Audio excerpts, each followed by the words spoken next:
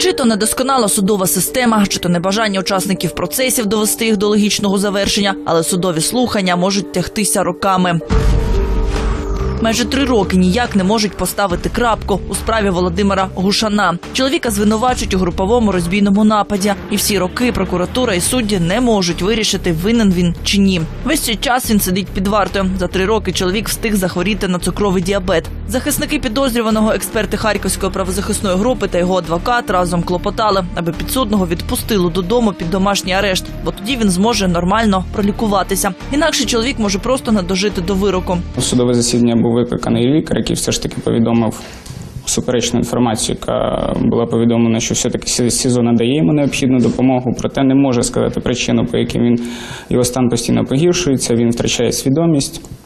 І зараз у нього з'явилися проблеми з ногами, він уже погано пересувається. На стан свого здоров'я жалівся і підозрюваний. Я выписан с, с корпусами санчасти с рекомендацией о дальнейшем лечении в МОЗе. Есть подтверждение документа. Он это хочет прокурор? Нет.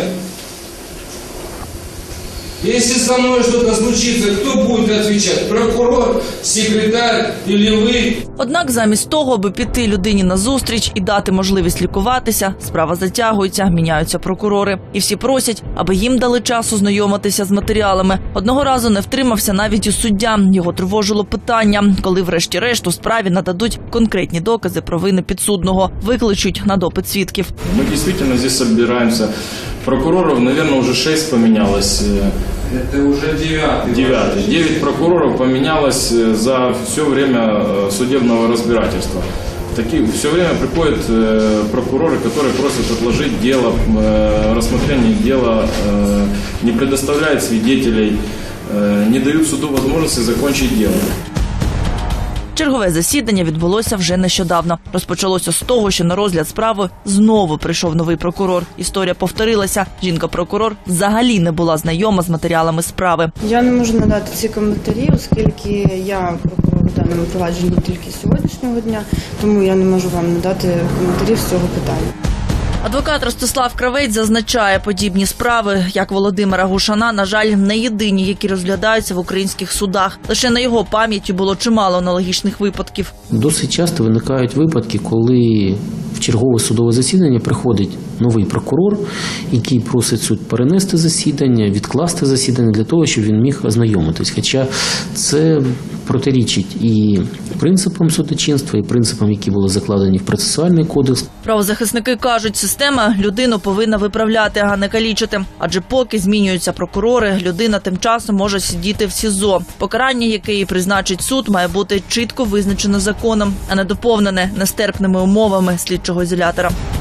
Правозахисники зазначають, таких випадків чимало. Справи можуть роками розглядатися в судах. За їх думкою, це вигідно слідчим. Це наша біда, і це наша проблема. Що в нас правоохоронні органи їм простіше мати людину в СІЗО, бо тоді вона буде більш такою гнучкою, е, краще буде співпрацювати зі слідством. і Вони йдуть на такі кроки, порушуючи права людини.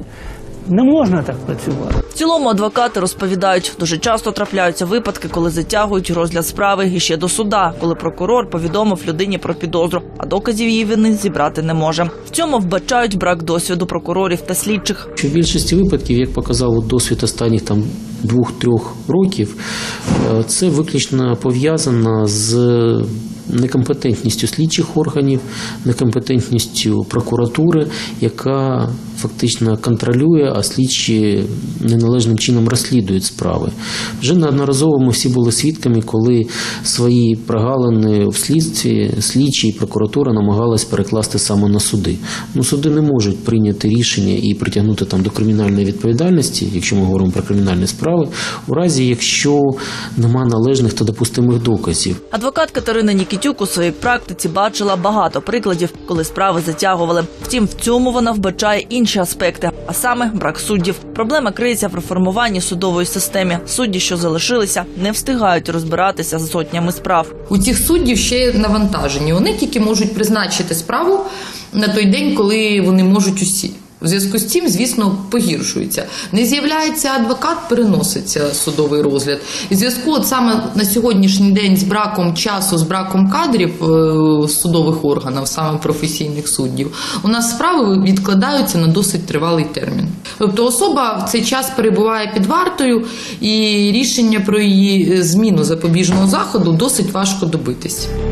Хоча більшість українців, які на їх щастя не стикаються з судами і не помічають, що в державі повним кроком відбувається реформування судової системи, безкінечно змінюються судді, разом з ними і прокурори. А тим часом страждають як підозрювані, так і потерпілі, які довго очікують на справедливий вирок суду. Судячи із досвіду інших країн, подібні реформи можуть тривати роками, і тут залишається одне чекати на фінал, аби реформи таки завершилися, і сподіватися, що рано чи пізно суди зможуть об'єктивно, а головне в розумні строки виносити справедливі рішення.